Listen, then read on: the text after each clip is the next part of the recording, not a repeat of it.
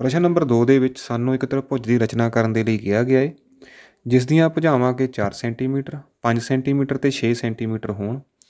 ਇਸ ਤੋਂ ਬਾਅਦ ਸਾਨੂੰ ਇੱਕ ਹੋਰ ਤ੍ਰਿਭੁਜ ਦੀ ਰਚਨਾ ਕਰਨ ਲਈ ਆਖਿਆ ਗਿਆ ਹੈ ਜਿਸ ਦੀਆਂ ਭੁਜਾਵਾਂ ਪਹਿਲੀ ਤ੍ਰਿਭੁਜ ਦੀਆਂ ਭੁਜਾਵਾਂ ਦਾ 2/3 ਹੋਣ।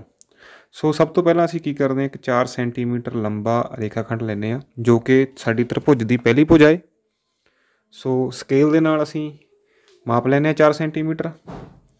ਤੇ ਇਸ ਦਾ ਅਸੀਂ ਨਾਂ ਰੱਖਾਂਗੇ ਏ ਬੀ ਸੋ ਇਹ ਸਾਡੀ ਕਿੰਨੀ ਹੈ? 4 ਸੈਂਟੀਮੀਟਰ ਤੇ ਸਾਡਾ ਰੇਖਾਖੰਡ ਹੈ ਏ ਬੀ ਇਹ ਸਾਡੀ ਪਹਿਲੀ ਭੁਜਾ ਬਣ ਗਈ ਹੈ। ਸੋ ਦੂਸਰੀ ਭੁਜਾ ਬਣਾਉਣ ਦੇ ਲਈ ਸਾਨੂੰ ਪ੍ਰਕਾਰ ਦੀ ਮਦਦ ਦੀ ਲੋੜ ਪਏਗੀ। ਸੋ ਅਸੀਂ ਪ੍ਰਕਾਰ ਨੂੰ ਫੂਟੇ ਦੀ ਸਹਾਇਤਾ ਦੇ ਨਾਲ 5 ਸੈਂਟੀਮੀਟਰ ਖੋਲ ਲੈਂਦੇ ਹਾਂ। ਜੇਕਰ ਤੁਹਾਡੇ ਸਕੇਲ ਦੇ ਉੱਪਰ 0 ਕਲੀਅਰ ਨਹੀਂ ਹੈ ਤਾਂ ਤੁਸੀਂ 1 ਤੋਂ ਲੈ ਕੇ 6 ਨੂੰ ਓਪਨ ਕਰੋ। ਮੇਰੇ ਸਕੇਲ ਦੇ ਉੱਪਰ 0 ਕਲੀਅਰ ਹੈ, ਸੋ ਮੈਂ 0 ਤੋਂ ਲੈ ਕੇ 5 ਤੱਕ ਓਪਨ ਕਰ ਲਈ ਹੈ ਇਹ।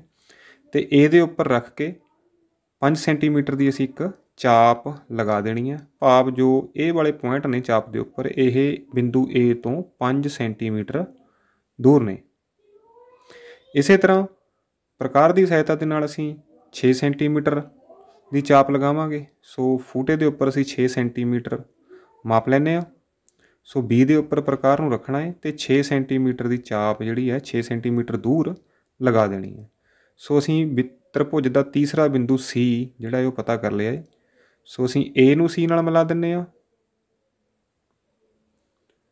ਤੇ ਇਸੇ ਤਰ੍ਹਾਂ ਸਕੇਲ ਦੀ ਮਦਦ ਦੇ ਨਾਲ B ਨੂੰ ਵੀ C ਦੇ ਨਾਲ ਮਿਲਾ ਦਿੰਨੇ ਆ ਸੋ ਸਾਡੇ ਪ੍ਰਸ਼ਨ ਦਾ ਜਿਹੜਾ ਪਹਿਲਾ ਸਟੈਪ ਹੈ ਉਹ ਪੂਰਾ ਹੋ ਗਿਆ ਹੈ। ਸਾਡੀ ਤ੍ਰਿਭੁਜ ABC ਬਣ ਗਈ ਹੈ। ਸੋ ਦੂਸਰੇ ਭਾਗ ਦੇ ਵਿੱਚ ਸਾਨੂੰ ਕੀ ਕਿਹਾ ਗਿਆ ਹੈ ਕਿ ਅਸੀਂ ਇਸ ਤਰਭੁਜ ਦੇ ਵਰਗੀ ਇੱਕ ਤਰਭੁਜ ਹੋਰ ਬਣਾਣੀ ਹੈ, ਜਿਹੜੀ ਤਰਭੁਜ ਦੀਆਂ ਭੁਜਾਵਾਂ ਨੇ ਜਿਹੜੀਆਂ, ਉਹ ਇਸ ਤਰਭੁਜ ਦੀਆਂ ਭੁਜਾਵਾਂ ਦਾ 2/3 ਹੋਣ। ਸੋ ਇਹਦੇ ਲਈ ਅਸੀਂ ਕੀ ਕਰਨਾ ਹੈ, ਇੱਕ ਨਿਊਨ ਕੋਣ ਦੀ ਰਚਨਾ ਕਰਾਂਗੇ, ਅਸੀਂ AB ਭੁਜਾ ਦੇ ਨਾਲ। ਕਿੰਨੇ ਵੀ ਡਿਗਰੀ ਦਾ ਹੋ ਸਕਦਾ ਹੈ, ਕਈ ਵਾਰ ਬੱਚੇ ਕਿਸੇ ਸਪੈਸੀਫਿਕ ਡਿਗਰੀ ਦਾ ਬਣਾਉਣ ਵਾਸਤੇ D ਦੀ ਵਰਤੋਂ ਵੀ ਕਰਦੇ ਨੇ ਬਟ ਮੈਂ ਕਹਾਂਗਾ ਕਿ ਕਿਸੇ ਵੀ ਡਿਗਰੀ ਦਾ ਤੁਸੀਂ ਨਿਊਨ ਕੋਣ ਬਣਾ ਸਕਦੇ ਹੋ?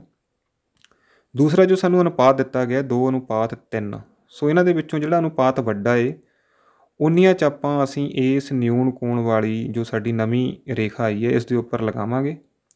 ਸੋ 3 ਸੋ ਅਸੀਂ ਪ੍ਰਕਾਰ ਦੀਆਂ ਤਿੰਨ ਚਾਪਾਂ ਪ੍ਰਕਾਰ ਦੀ ਮਦਦ ਦੇ ਨਾਲ ਤਿੰਨ ਬਰਾਬਰ ਚਾਪਾਂ ਜਿੰਨੀ ਇੱਕ ਵਾਰ ਤੁਸੀਂ ਪ੍ਰਕਾਰ ਓਪਨ ਕਰ ਲਈ ਉਸ ਨੂੰ ਚੇਂਜ ਨਹੀਂ ਕਰਨਾ। ਅੱਗੇ ਤੋਂ ਅੱਗੇ ਰੱਖਦੇ ਹੋਏ ਤਿੰਨ ਚਾਪਾਂ ਲਗਾਣੀਆਂ ਨੇ। ਸੋ ਇਹ ਸਾਡੀਆਂ ਹੋ ਗਈਆਂ ਨੇ ਤਿੰਨ ਚਾਪਾਂ ਹੋ ਗਈਆਂ ਨੇ। ਤੇ ਇਹਨਾਂ ਦਾ ਤੁਸੀਂ ਨਾਂ ਰੱਖ ਸਕਦੇ ਹੋ। A1 A2 A3 ਜਾਂ C ਤੋਂ ਕੋਡ ਜਾਂ C C1 C2 C3 ਕੁਝ ਵੀ ਰੱਖ ਸਕਦੇ ਹੋ। ਸੋ ਮੈਂ ਲੈ ਲੈਣਾ C1 C2 C3 ਸੋ ਇਸ ਤੋਂ ਬਾਅਦ ਅਸੀਂ ਜੋ ਸਾਡਾ ਡਿਨੋਮੀਨੇਟਰ ਹੈ, ਹਰ ਹੈ ਉਸ ਦੇ ਵਿੱਚ ਜੋ ਵੀ ਅਨੁਪਾਤ ਹੈ, ਸਾਡੇ ਪਾਸ ਕਿੰਨਾ ਹੈ?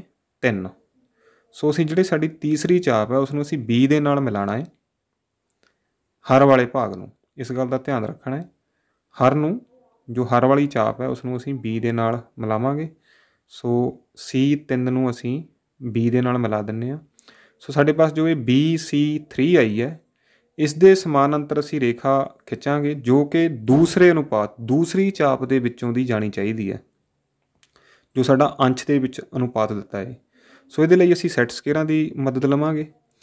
ਸੈਟ ਸਕੇਅਰ ਦਾ ਜੋ 90 ਡਿਗਰੀ ਦਾ ਕੋਣ ਹੈ ਉਸ ਦੀ ਇੱਕ ਜਿਹੜੀ ਸਾਈਡ ਹੈ ਉਸ ਨੂੰ ਅਸੀਂ BC3 ਦੇ ਨਾਲ ਬਿਲਕੁਲ ਸਿੱਧਾ ਸਹੀ ਅਲਾਈਨ ਕਰਾਂਗੇ ਪੂਰਾ ਪੂਰਾ। ਤੇ ਇਸ ਦੇ ਨੀਚੇ ਅਸੀਂ ਦੂਸਰੇ ਸੈਟ ਸਕੇਅਰ ਦੀ ਸਪੋਰਟ ਲਵਾਂਗੇ ਜਾਂ ਅਸੀਂ ਸਕੇਲ ਦੀ ਸਪੋਰਟ ਵੀ ਲੈ ਸਕਦੇ ਹਾਂ। ਸੋ ਮੈਂ ਆਪਣੇ ਸੈਟ ਸਕੇਅਰ ਨੂੰ BC3 ਦੇ ਨਾਲ ਪੂਰਾ ਸਹੀ ਸਹੀ ਅਲਾਈਨ ਕਰ ਲਿਆ ਹੈ ਤੇ ਇਸ ਦੇ ਨੀਚੇ ਪੂਰਾ ਟਾਈਟਲੀ ਦੂਸਰਾ ਸੈਟ ਸਕੇਅਰ ਪਲੇਸ ਕਰਤਾ ਹੈ। ਸੋ ਹੁਣ ਅਸੀਂ ਉੱਪਰ ਵਾਲੇ ਸੈਟ ਸਕੇਅਰ ਨੂੰ ਹੌਲੀ ਹੌਲੀ ਸਲਾਈਡ ਕਰਦੇ ਹੋਏ C2 ਦੇ ਵੱਲ ਜਾਵਾਂਗੇ ਪੂਰਾ ਟਾਈਟਲੀ ਫੜ ਕੇ ਰੱਖਣਾ ਹੈ ਇਸ ਨੂੰ। ਇਸ ਤਰੀਕੇ ਦੇ ਨਾਲ ਜੋ ਸਮਾਨਾਂਤਰ ਰੇਖਾ ਬਣਦੀ ਹੈ, ਉਹ ਬੜੀ ਐਕੂਰੇਟ ਬਣਦੀ ਹੈ ਤੇ ਬੜਾ ਆਸਾਨ ਤਰੀਕਾ ਹੈ। ਕੁਝ ਵਿਦਿਆਰਥੀ ਪ੍ਰਕਾਰ ਦੀ ਵੀ ਮਦਦ ਲੈਂਦੇ ਨੇ, ਪ੍ਰਕਾਰ ਦੇ ਨਾਲ ਵੀ ਅਸੀਂ ਬਣਾ ਸਕਦੇ ਹਾਂ ਸਮਾਨਾਂਤਰ ਰੇਖਾ ਬਟ ਉਹਦੇ ਵਿੱਚ ਐਕੂਰੇਸੀ ਦੀ ਕਮੀ ਹੁੰਦੀ ਹੈ। ਜੋ ਸੈਟ ਸਕੇਅਰ ਦੀ ਹੈਲਪ ਦੇ ਨਾਲ ਅਸੀਂ ਸਮਾਨਾਂਤਰ ਰੇਖਾ ਬਣਾਉਨੇ ਹਾਂ, ਉਹ ਬਿਲਕੁਲ ਐਕੂਰੇਟ ਹੁੰਦੀ ਹੈ, ਸਹੀ ਹੁੰਦੀ ਹੈ। ਸੋ ਇਹ ਸਾਡੀ ਬਣ ਗਈ ਹੈ ਸਮਾਨਾਂਤਰ ਰੇਖਾ। ਸੋ ਇਹ ਜੋ ਏ ਬੀ ਦੇ ਉੱਪਰ ਪੁਆਇੰਟ ਆਇਆ ਹੈ ਇਸ ਦਾ ਅਸੀਂ ਨਾਂ ਰੱਖ ਦਿੰਨੇ ਆ ਬੀ ਡੈਸ਼ ਸੋ ਸਾਡੇ ਕੋਲ ਏ ਬੀ ਦੇ ਉੱਪਰ ਇੱਕ ਬੀ ਡੈਸ਼ ਨਵਾਂ ਪੁਆਇੰਟ ਆ ਗਿਆ ਹੈ ਹੁਣ ਅਸੀਂ ਬੀ ਸੀ ਦੇ ਸਮਾਨਾਂਤਰ ਰੇਖਾ ਬਣਾਵਾਂਗੇ। ਜਿਸ ਤਰ੍ਹਾਂ ਅਸੀਂ ਨੀਚੇ ਬਣਾਈ ਹੈ ਸਮਾਨਾਂਤਰ ਰੇਖਾ, ਉਸੇ ਤਰ੍ਹਾਂ ਅਸੀਂ ਉੱਪਰ BC ਦੇ ਸਮਾਨਾਂਤਰ ਰੇਖਾ ਬਣਾਵਾਂਗੇ, ਜਿਹੜੀ ਬਿੰਦੂ B ਡੈਸ਼ ਦੇ ਵਿੱਚੋਂ ਦੀ ਹੋ ਕੇ ਜਾਣੀ ਚਾਹੀਦੀ ਹੈ। ਸੋ ਪਹਿਲਾਂ ਵਾਲਾ ਸਟੈਪ ਰਿਪੀਟ ਕਰਾਂਗੇ। BC ਦੇ ਨਾਲ ਸੈਟ ਸਕੁਅਰ ਨੂੰ ਟਾਈਟਲੀ ਅਲਾਈਨ ਕਰਾਂਗੇ। ਤੇ ਨੀਚੇ ਸਪੋਰਟ ਦੇ ਲਈ ਤੁਸੀਂ ਦੂਸਰਾ ਸੈਟ ਸਕੁਅਰ ਲੈ ਸਕਦੇ ਹੋ ਜਾਂ ਸਕੇਲ ਲੈ ਸਕਦੇ ਹੋ। ਸੋ ਮੈਂ ਟਾਈਟਲੀ ਦੋਨਾਂ ਨੂੰ ਫਿਕਸ ਕਰ ਲਿਆ ਹੈ ਤੇ ਉੱਪਰ ਵਾਲਾ ਸੈਟ ਸਕੇਲ ਜਿਹੜਾ ਹੈ ਮੇਰਾ BC ਦੇ ਨਾਲ ਪੂਰੀ ਤਰ੍ਹਾਂ ਅਲਾਈਨ ਹੈ ਤੇ ਮੈਂ ਹੌਲੀ ਹੌਲੀ ਸਲਾਈਡ ਕਰਦਾ ਇਸ ਨੂੰ ਬਿੰਦੂ B ਡੈਸ਼ ਵੱਲ। ਜਦੋਂ ਅਸੀਂ B ਡੈਸ਼ ਤੇ ਪਹੁੰਚ ਗਏ ਤਾਂ ਨੀਚੇ ਵਾਲੀ ਸਪੋਰਟ ਜਿਹੜੀ ਹੈ ਸਾਡੀ ਅਸੀਂ ਉਸ ਨੂੰ ਹਟਾ ਦੇਵਾਂਗੇ ਤੇ ਇੱਥੇ ਅਸੀਂ BC ਦੇ ਸਮਾਨਾਂਤਰ ਇੱਕ ਰੇਖਾ ਬਣਾ ਦੇਵਾਂਗੇ ਸੋ ਇਹ ਜੋ ਸਾਡਾ ਨਵਾਂ ਪੁਆਇੰਟ ਆਏਗਾ AC ਦੇ ਉੱਪਰ ਇਸ ਦਾ ਨਾਮ ਅਸੀਂ ਰੱਖ ਦਿੰਨੇ ਆ C ਡੈਸ਼ ਸੋ ਅਸੀਂ ਜਿਹੜੀ ਤ੍ਰਿਭੁਜ ਹੈ, ਉਹ ਬਣਾ ਲਈ ਹੈ। 2/3 ਹੋਣੀ ਚਾਹੀਦੀ ਹੈ ਸਾਡੀ ਪੁਰਾਣੀ ਤ੍ਰਿਭੁਜ ਦਾ। ਜੇਕਰ ਅੰਸ਼ ਛੋਟਾ ਹੋਵੇ ਹਰ ਨਾਲੋਂ ਤਾਂ ਤ੍ਰਿਭੁਜ ਹਮੇਸ਼ਾ ਛੋਟੀ ਬਣਦੀ ਹੈ। ਸੋ ਸਾਡੀ ਜਿਹੜੀ ਲੋੜੀਂਦੀ ਤ੍ਰਿਭੁਜ ਹੈ ਉਹ ਹੈ A, B dash C dash ਜਿਹੜੀ ਕਿ 2/3 ਹੋਏਗੀ ਸਾਡੀ ਪੁਰਾਣੀ ਤ੍ਰਿਭੁਜ ABC ਦਾ। ਇਸ ਗੱਲ ਦਾ ਧਿਆਨ ਰੱਖਣਾ ਹੈ ਕਿ ਜੋ ਹਰ ਵਾਲਾ ਅਨੁਪਾਤ ਹੈ ਉਸ ਨੂੰ ਅਸੀਂ ਤ੍ਰਿਭੁਜ ਦੇ ਬਿੰਦੂ ਨਾਲ ਮਿਲਾਣਾ ਹੈ। ਤੇ ਜਿਹੜਾ ਅੰਸ਼ ਵਾਲਾ ਅਨੁਪਾਤ ਹੈ ਉਸ ਦੇ ਵਿੱਚੋਂ ਦੀ ਸਮਾਨਾਂਤਰ ਰੇਖਾ ਤਿਆਰ ਕਰਨੀ ਹੈ। ਇਹ ਸਮਾਨਾਂਤਰ ਰੇਖਾ ਸਾਨੂੰ AB ਦੇ ਉੱਪਰ ਇੱਕ ਨਵਾਂ ਬਿੰਦੂ ਦਿੰਦੀ ਹੈ, ਜਿਸ ਦੇ ਵਿੱਚੋਂ ਦੀ ਅਸੀਂ BC ਦੇ ਸਮਾਨਾਂਤਰ ਰੇਖਾ ਤਿਆਰ ਕਰਦੇ ਹਾਂ।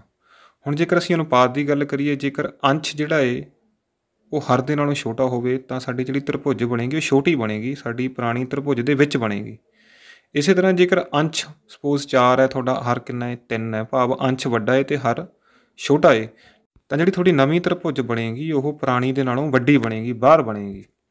ਸੋ ਜੇਕਰ ਵੀਡੀਓ ਅੱਛੀ ਲੱਗੇ ਤਾਂ ਵੀਡੀਓ ਨੂੰ ਲਾਈਕ ਤੇ ਸ਼ੇਅਰ ਜ਼ਰੂਰ ਕਰੋ। ਹੋਰ ਵੀ ਵਧੇਰੇ ਵੀਡੀਓਜ਼ ਦੇ ਲਈ ਸਾਡੇ ਚੈਨਲ ਨੂੰ ਸਬਸਕ੍ਰਾਈਬ ਕਰੋ। ਚੈਨਲ ਤੇ ਆਉਣ ਲਈ ਧੰਨਵਾਦ।